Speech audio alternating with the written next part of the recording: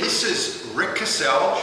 I wanted to say hello to everyone from Mark Young Training Systems that's reading Mark's blog. Uh, so I'm going to go through one exercise that I really like that ends up addressing uh, the decrease in internal rotation that is often seen in individuals.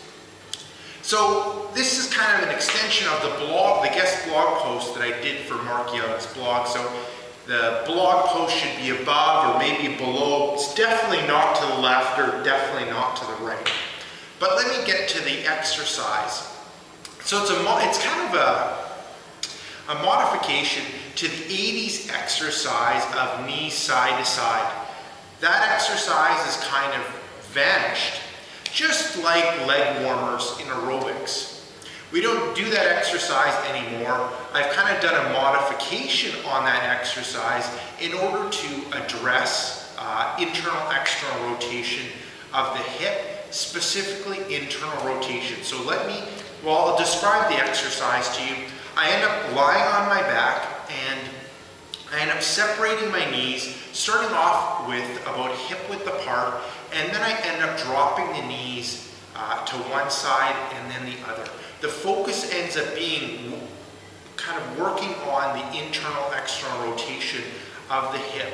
So it's different than the feet together, knees together, dropping knees side to side, which ends up focusing, uh, putting a lot of stress on the lower back. So let me show you what I'm talking about.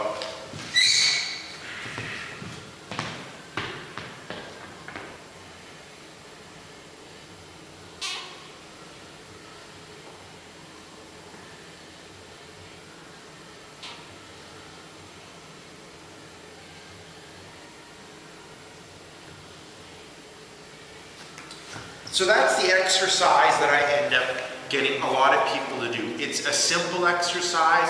It's an easy exercise to do. They can do it any anywhere. A lot of times I suggest people to do it when they're watching television.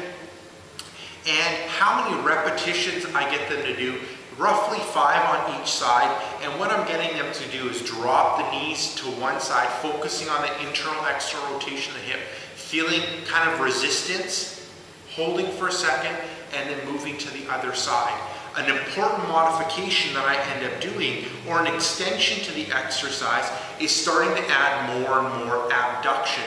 So initially it's about hip width apart that I have the legs, but then I start ex expanding that hip abduction. So maybe like 20 degrees, uh, more like 15 degrees, 30 degrees, and then like 45 degrees. So let me quickly show you.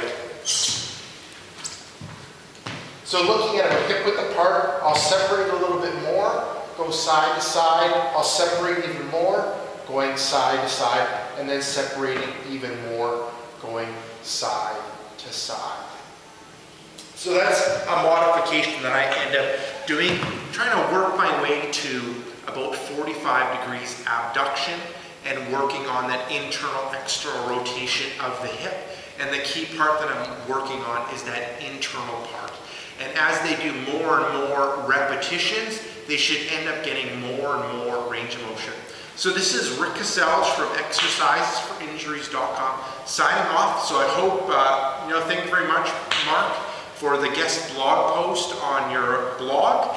And please do make sure to leave a comment below. Let me know if you have any questions, uh, what you liked about the exercise, what you didn't like about the exercise, what you liked about the blog post. We did. So this is Rick Kaselj from exercisesforinjuries.com signing off saying take